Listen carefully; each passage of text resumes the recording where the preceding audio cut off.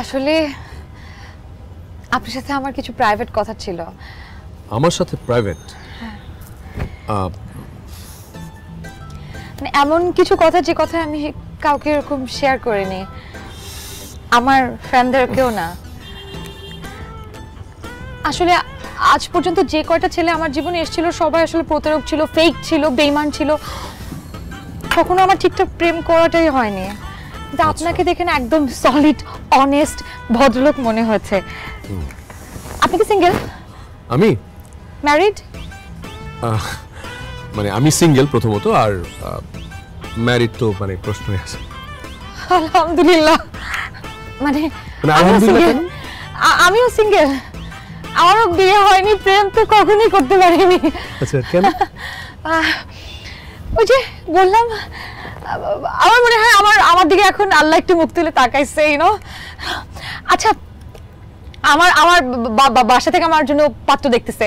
আমি আমার মাকে আপনার ছবি দেখিয়েছি আমার মা আপনাকে অলরেডি খুব পছন্দ করেছে এবং সামনের মাসে অবসর পনেরো দিন পরে প্রথম রবিবার যদি আমাদের বিয়ে হয় আমাদের বিয়ে একদম সারা জীবন পাক্কা টিকবে। আপনি কি রাজি? মানে মানে মানে মানে আমি আসলে স্কোপ পাচ্ছিলাম না ঢোকার জন্য। আমি আমি রাজি বুঝতে পারছি আমি বুঝতে পারছি আপনি লজ্জা পাচ্ছেন নিজের মেয়ের হ্যাঁ, কথা হ্যাঁ, নিজে বলতে লজ্জা পায় আমার একটু নিজে লজ্জা একটু বলি আমি লজ্জা একটু লজ্জা ভেঙে বলে কিন্তু- কিন্তু রিয়া ফ্যাক্ট ইজ দ্যাট যে মানে তোমাকে আমারও পছন্দ মানে যে কথাটা আমার বলা উচিত ছিল সেটা তুমি বলে দিলে আমি. চেয়েছিলাম টিয়া ভাইকে দিয়ে বলাবো ঘটক। আমাদের আবার টিয়া ভাই কেন আসবে? তুমি বলেছ শাশুড়ি ওটাই ভালো। কিন্তু প্রবলেম ইজ দ্যাট যে তুমি তো জানো যে আমার বিজনেসটা কি ক্রিকেট আর এখন হচ্ছে আমি আমার বিজনেসের সবচেয়ে মূল পর্বটাতে আছি লাইক কর্পোরেট ক্রিকেট লিগ যেখানে বিলিয়ন বিলিয়ন ডলার উঠছে এবং তুমি অলরেডি আমার দুটো প্রজেক্টের মিটিংয়ে ছিলে।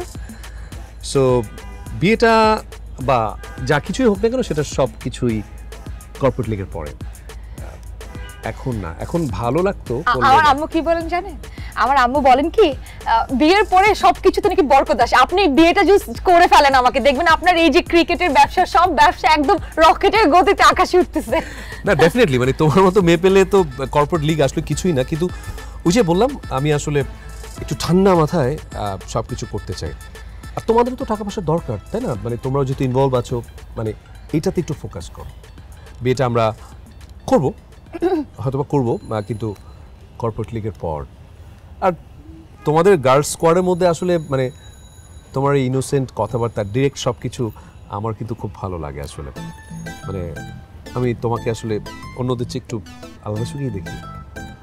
মানে তোমার মধ্যে একটা আসলে ওই বউ বউ একটা ব্যাপার আছে, যেটা আমার সাথে খুব যায় আর কি। যেহেতু আমি নিজেও তোমার মতোই অবস্থা, কখনো কোনো মেয়ের দিকে আসলে তাকাইনি। শুধু মানে তোমরা আসো দেখে তোমাদের দিকে মাঝে মধ্যে তাকাই আর কি দ্যাটস ইট